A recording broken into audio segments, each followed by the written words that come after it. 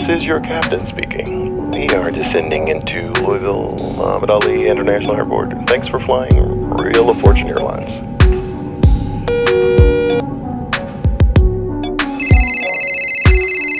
Now you know you can't rush perfection. Oh, but I can rush and I am rushing you. Your manuscript was supposed to be due to me two weeks ago. Deadlines, deadlines. I have as much writing on this as you do. Okay, okay. I just want another bestseller. I mean, I'm not sure if. Wait, wait, wait. I might have something actually. Can I call a friend? Yeah, sure. Go ahead. Okay, hold on. Tilden, I am sending over the details of what I found and your ticket. However, you will need to leave tonight to Kentucky.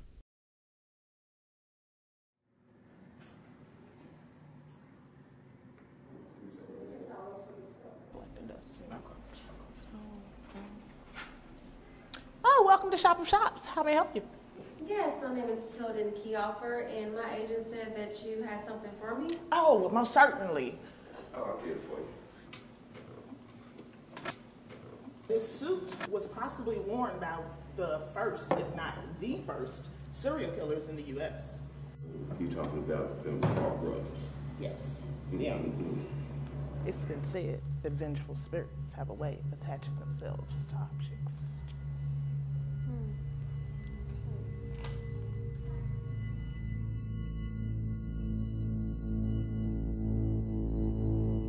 The brothers were caught and executed all to please the crowd. But the spirit was so evil. I couldn't be buried in the ground.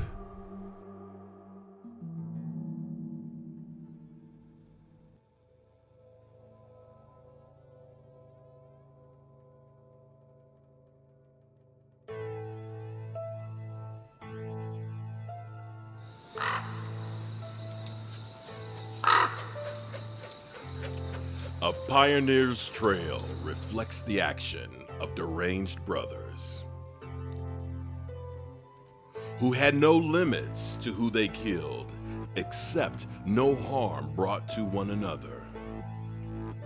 The Harpe brothers killed for fun, for gain, and to steal others' possessions. Even killing their own children, they showed no remorse, regret, or affections. It all began with an innocent man who stopped to write a note. Little Harpe with greed in his eyes and an obsession to own his coat. Without a word, as he turned, he slit the poor man's throat.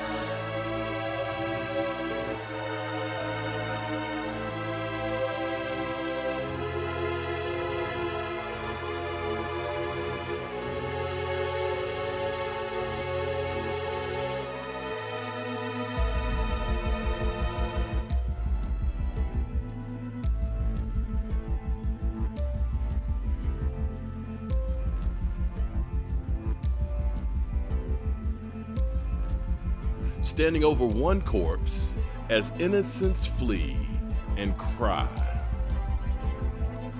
Only pause for a brief taste of Gloria's sweet potato pie.